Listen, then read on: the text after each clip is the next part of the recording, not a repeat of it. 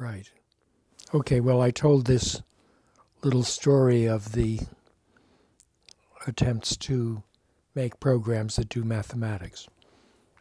So that's sort of this strange backwards evolution where in 1961 the student James Slagle made a program that could do integration as well as a good college student.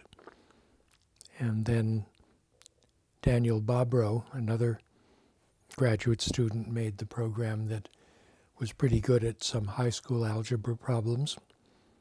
And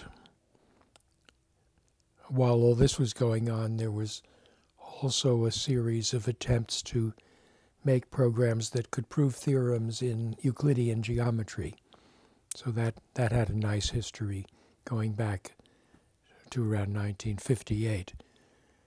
Uh,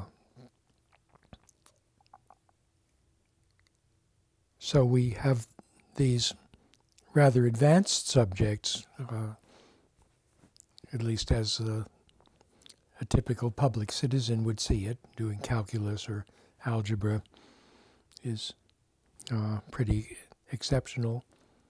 But we don't have a, a system that understands enough about the real world to to know that uh, you can pull with a string, my favorite example, but but you can't push, or uh, knows that normally people don't like to get wet, so they, if they're going out in the rain, they'll probably get an umbrella, but they won't take an umbrella when they go swimming uh, because then then they want to get wet or they don't mind it.